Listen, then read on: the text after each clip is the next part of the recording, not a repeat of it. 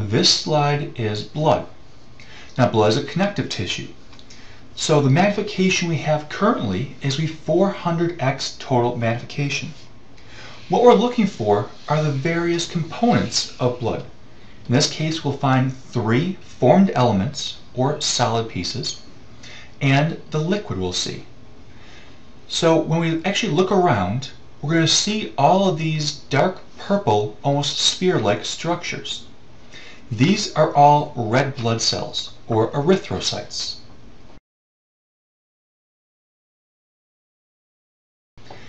This structure right in the center, which has a purple, almost black looking nucleus, is a white blood cell, or leukocyte. So if we zoom in, we can see a little better detail of this white blood cell.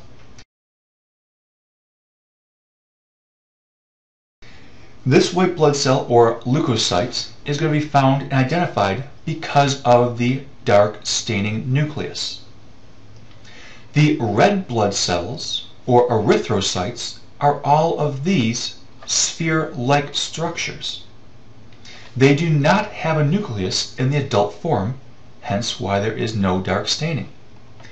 These other small dark dots we're seeing here, here, there's a few little pieces here, another one over here.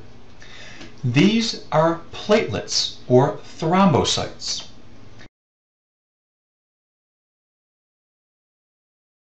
So we have three different solid structures in blood. White blood cells or leukocytes, red blood cells or erythrocytes, and platelets or thrombocytes.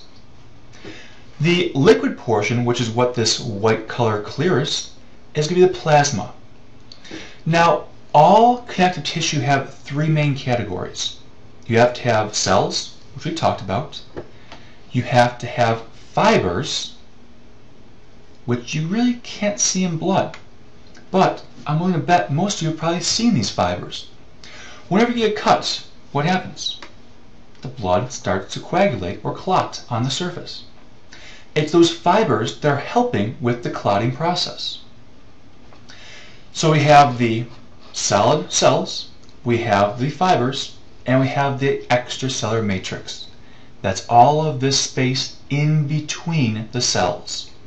So blood, even though it may not look like it, is a connective tissue.